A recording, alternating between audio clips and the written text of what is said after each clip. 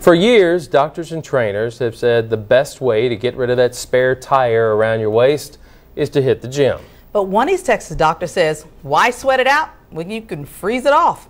KLTV 7 Samantha Jordan met with women who are saying bye-bye to fat, one freeze at a time.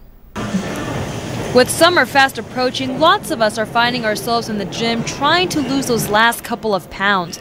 But what if you could undergo a new procedure that didn't require a knife and only took an hour? You don't have to change your exercise program, you don't have to change your diet. It's called CoolSculpting, a new one hour procedure where your fat cells are frozen, helping minimize those problem areas like love handles, belly bulges, and back fat. But who qualifies for the procedure? People with fat that are exercise resistant bulges that are either at their ideal weight with a stubborn spot or within 10 to 15 pounds of their goal weight. McCoy says during the procedure you feel a tugging sensation the first five minutes, almost like someone's pinching you, and that's where the cool part sets in.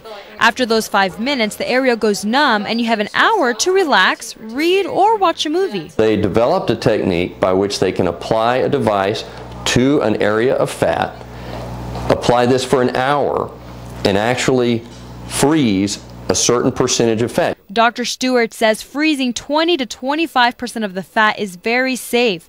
Doctors say after the freeze, your body then absorbs the dead fat cells and disposes of them through the liver. It's not simply decreasing the fat cell sizes and that they're, they're going to come back. It's actually going to kill the fat cells. And once they're removed and dead, that's just like taking it out with liposuction. In Tyler, Samantha Jordan, KLTV 7 News.